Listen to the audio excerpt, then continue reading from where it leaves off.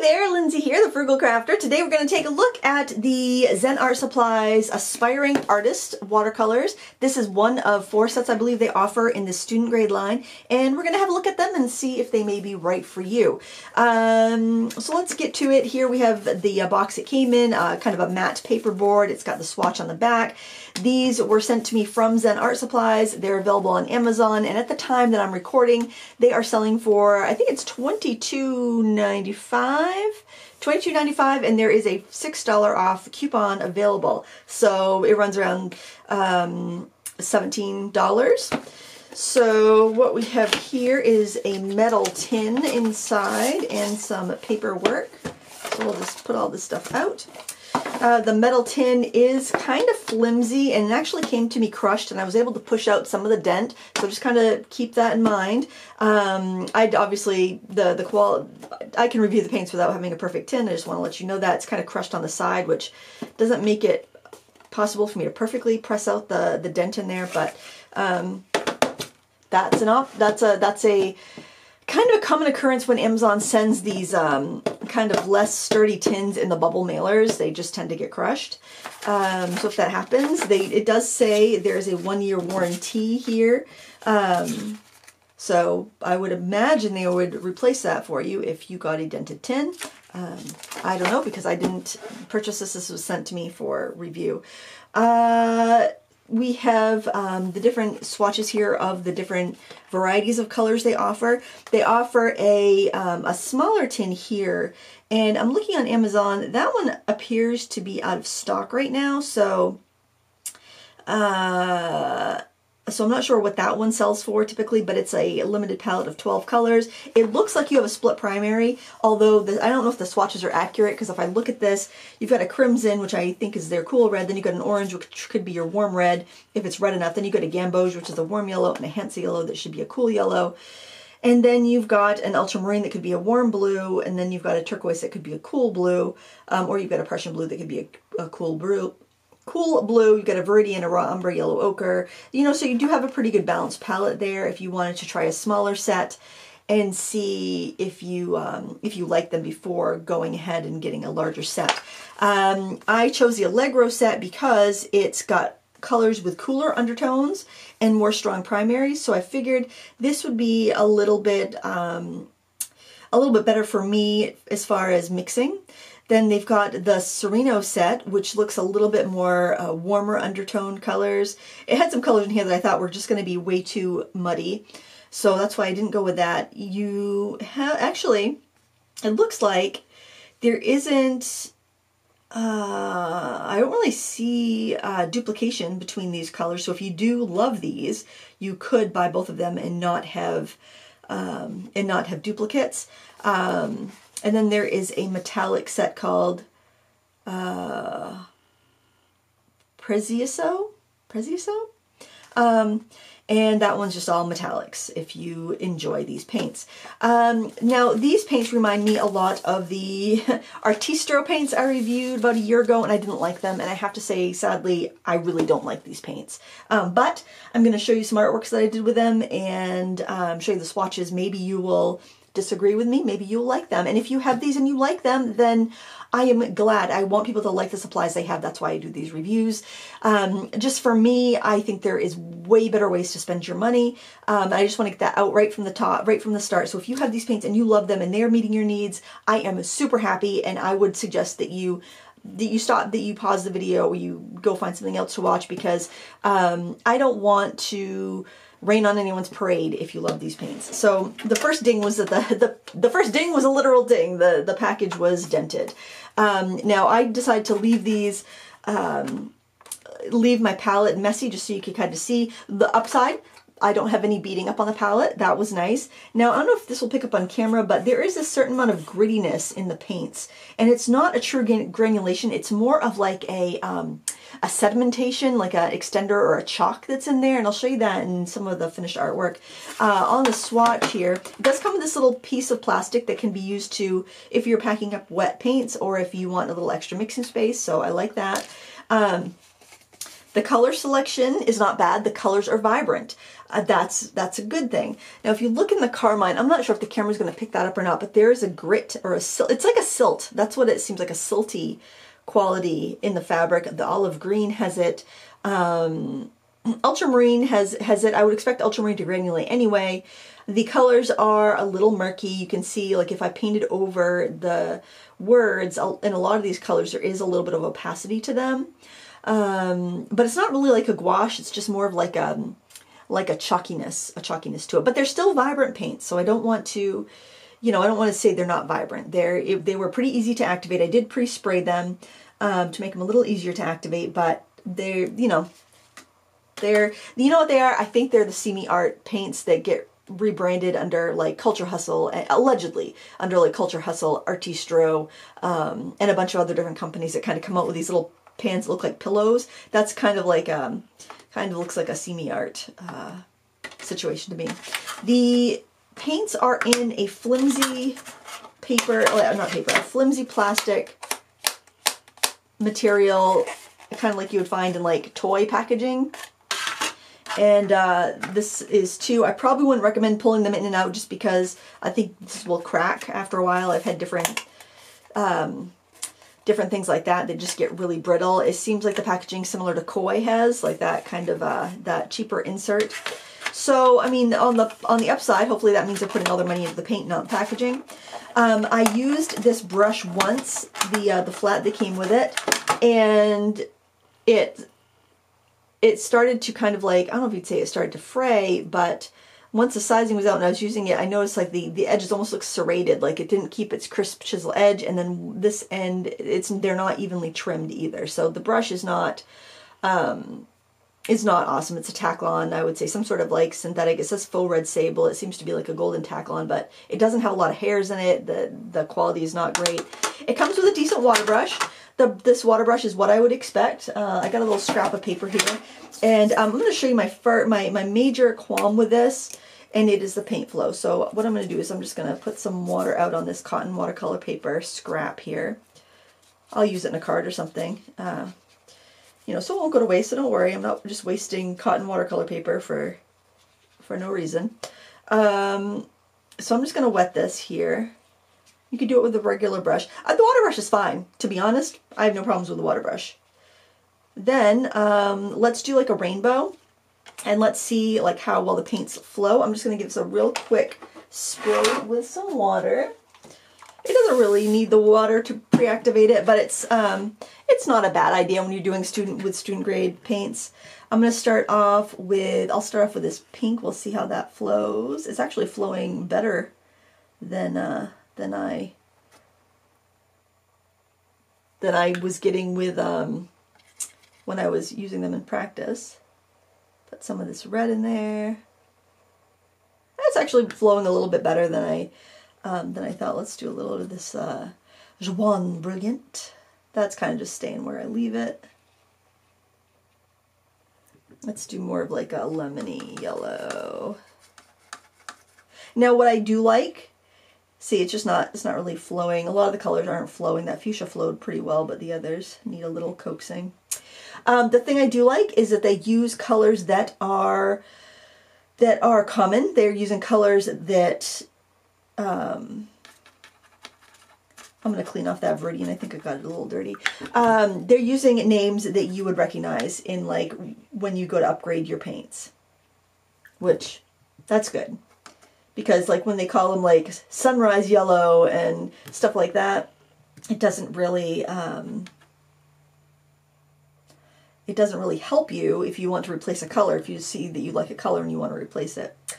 Um, this turquoise does not really look all that turquoisey to me. It's more of like a sky blue. And you get your phthalo blue. So I do like that, that they're using like your commonplace names. But I don't, I didn't really get a lot of joy out of using these paints, like the lack of flow, except for that fuchsia was my major, my major problem. But uh, also the grittiness, the um, if you layer colors, it gets muddy fairly quickly. There's a lot of extenders in here. I mean, the red, that fuchsia flowed really well. but then when you got over to these cooler colors, they just kind of sat there, and that was kind of a um, that was just you know when I'm when I'm painting with watercolor, I want a little bit of that spontaneity. I want a little bit of that flow. Maybe you don't. Maybe you want your paints to stay exactly where you put them. Maybe you're working on paper that's not as sized and you want to make it stay put.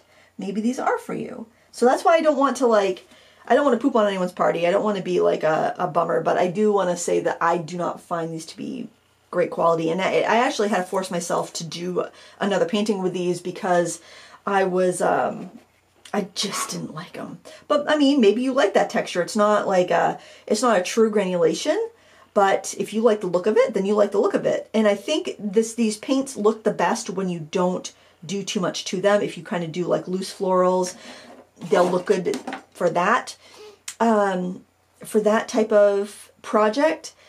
But once you start layering and layering and layering, you're going to see the limitations of that chalkiness. So here are some, um, just some kind of doodle pieces that I was doing. And this is on Arches paper, so this isn't cheap paper. Can you see right there? Um, I don't know. I'm going to zoom in. I'm hoping the camera will focus. If I zoom in like that. So in here, this red, it almost looks like sand in it. It's just, it's very silty, a very silty effect. It's interesting. Um, this yellow also has that kind of sandy effect where I used it strongly. So it's like where are you're using these paints strongly with a lot of water, um, using like a lot of pigment, a lot of water, you are going to get the settling out of this, um, this granular extender in your paint. Uh, the greens were get kind of dull when you mix them. I don't feel like you're getting a super, super vi vibrant green unless you use the green on its own and then don't do anything to it. Like this May green here they call it Cerulean green. Um, it's got a definitely a unpleasant texture. I think it's not like the pretty granulation that you want. Here, if you look at this where the red and the green mixed, it made this really sandy looking silty brown. You can see that kind of silty up there. This green had a lot of a lot of that um, sandy texture in it. It's just not what I'm going for with the watercolor. Maybe you like that. Maybe that's something that's going to be beneficial in your work. But for me, I just didn't even want to touch these paints again. I was just, ugh. I painted a bookmark and I'm like, well, it's fine if you're going real quick and you're not going to do anything else to it. But I think if you want to, these will hinder you if you want to learn to paint watercolor in a traditional manner. Generally, you know, if a watercolor paint does not hinder your growth, and then I'm like, go for it, you know, see what colors you use, see what colors you like, and then upgrade. Like I would say the the Meiliang Pretty Excellent set, that will not hinder your growth. You can learn to paint with those. You can layer, you can glaze, you can do all these things. And then as you run out of colors, you can buy a tube of professional paint. That's not going to hinder you. Um, like the fan, those fan palettes, about the same price as this. Those will not hinder you. The paint is nice and transparent. You can layer it. They flow. They have, they're just, they act like traditional watercolors. This I feel like is going to, it could even make you feel like you're a worse painter than you are. And paints like that, I don't recommend.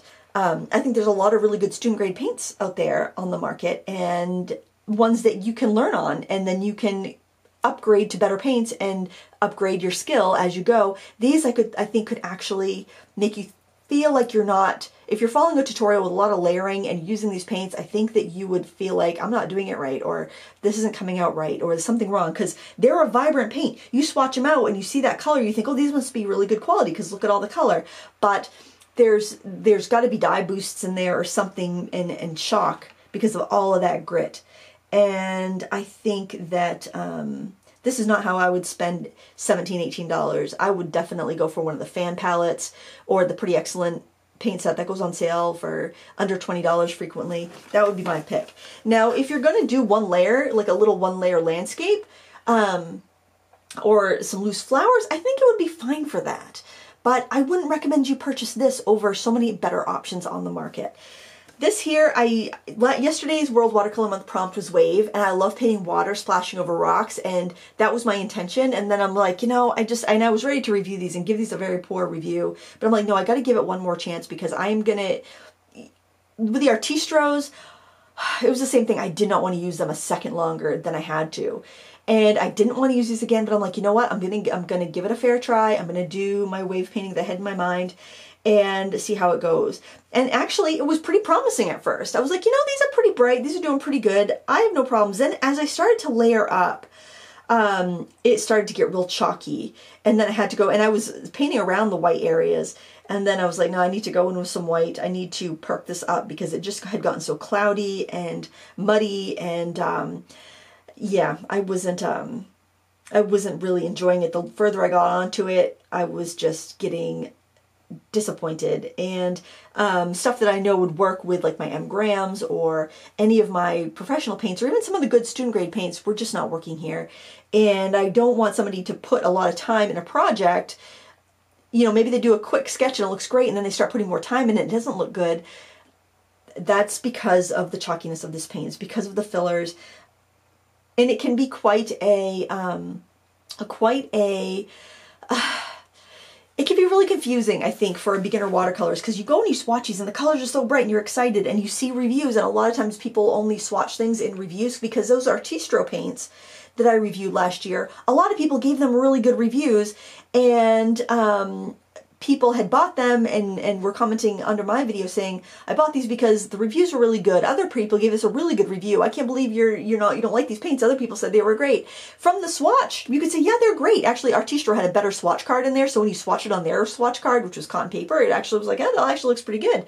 But when you um, when you went to paint with them and you did any layering or you know you're trying to do techniques where you needed the colors to flow together, like some loose flowers, they really struggled and um and I didn't like those paints. I don't like these paints.